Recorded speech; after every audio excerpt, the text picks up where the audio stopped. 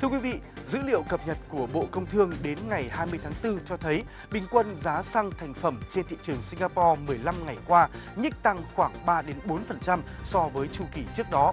Lãnh đạo một doanh nghiệp kinh doanh xăng dầu tại Hà Nội cho hay nếu nhà điều hành không dùng tới quỹ bình ổn tại kỳ điều hành xăng dầu ngày mai 27 tháng 4, dự báo giá bán lẻ xăng dầu sẽ tăng 200 đến 300 ngàn 300 đồng một lít à, cũng tùy loại.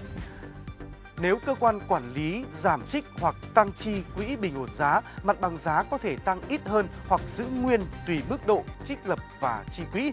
Tuy nhiên, vị này dự báo khả năng kỳ điều chỉnh ngày mai không dùng quỹ nhiều. Nếu giá xăng dầu được điều chỉnh tăng vào ngày mai thì đây sẽ là đợt tăng giá trở lại sau khi được điều chỉnh giảm nhẹ ngày 12 tháng 4, 45 đến 177 đồng một lít kg tùy loại.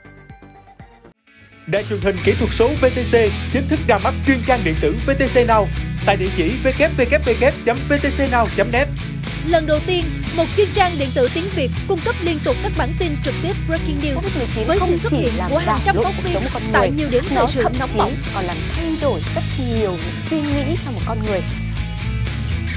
Lần đầu tiên, khán giả Việt Nam được theo dõi các tin tức theo dạng đồ họa, mô phỏng hiện đại và sống động những chương trình bản quyền hấp dẫn nhất trên hệ thống 15 kênh truyền hình VTC được chắc lọc và công chiếu liên tục mỗi ngày.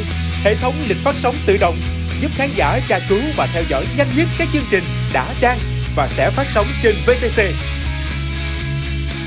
Những TV show ăn khách